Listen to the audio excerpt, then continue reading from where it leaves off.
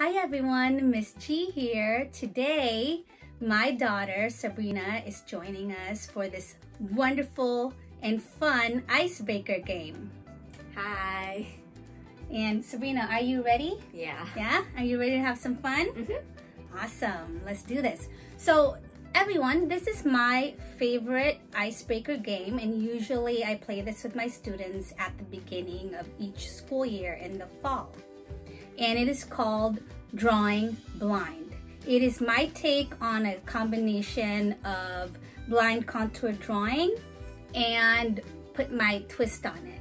I like to cut paper in small rectangles or squares um, because as you're gonna find out right now, students will have to place it on top of their heads. That's why it's called drawing blind because you can't look at what you're drawing. It has to stay on top of your head the entire time until the teacher tells you that time is up because everybody finished and that go, you can take it off your head and then you can show it off and have some fun laughing at each other's silly drawings because I can guarantee, Sabrina, it is not gonna look like anything uh, that it's not gonna look like what it's supposed to look like, okay? It's gonna look funny. It's, oh, Oh, are you ready?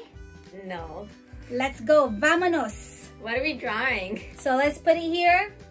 So I'm the teacher, so I'm gonna tell you what to draw. Mm-hmm. And usually I just ask students to draw like four or five things.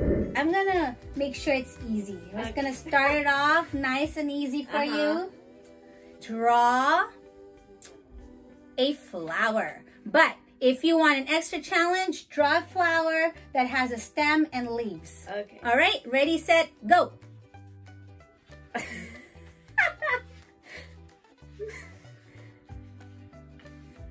Okay, flowers done. Leaves. Oh boy. I can't wait to look at my drawing and your drawing. Wow. Okay, mine's not that bad. It's not that bad.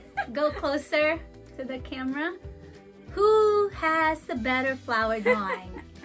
Did you draw leaves? Are Um, those I supposed to tried. I, tr- I tried to, but it looked more of a flower, like a flower. It's a pretty has flower stem. though. It looks like a really pretty carnation. Yeah. Good job.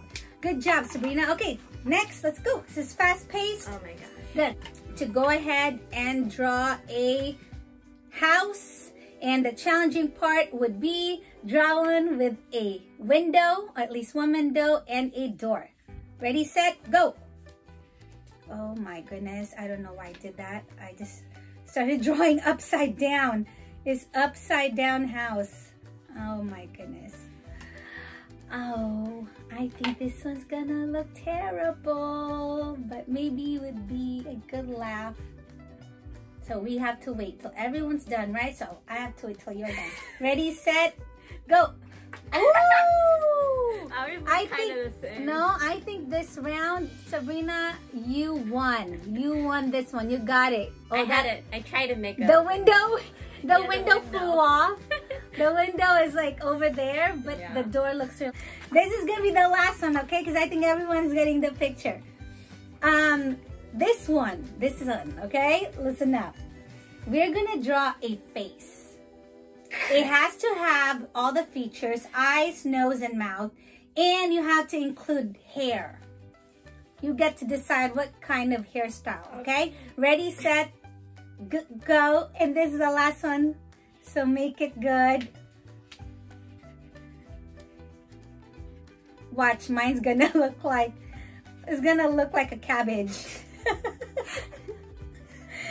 Or a cauliflower.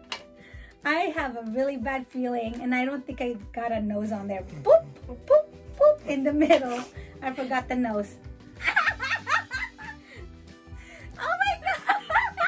I tried making a neck. Sabrina, you won.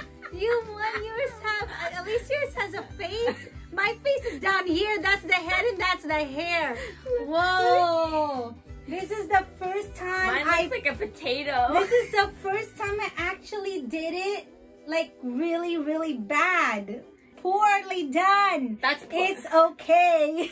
Mine looks like a potato. This is supposed to be the face right here, but I drew the face down here. Mine looks like a potato. It's cute. I like that it has a really nice wavy hair.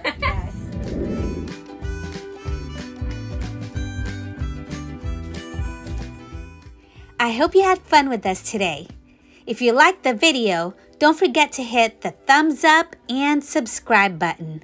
Until later, keep creating.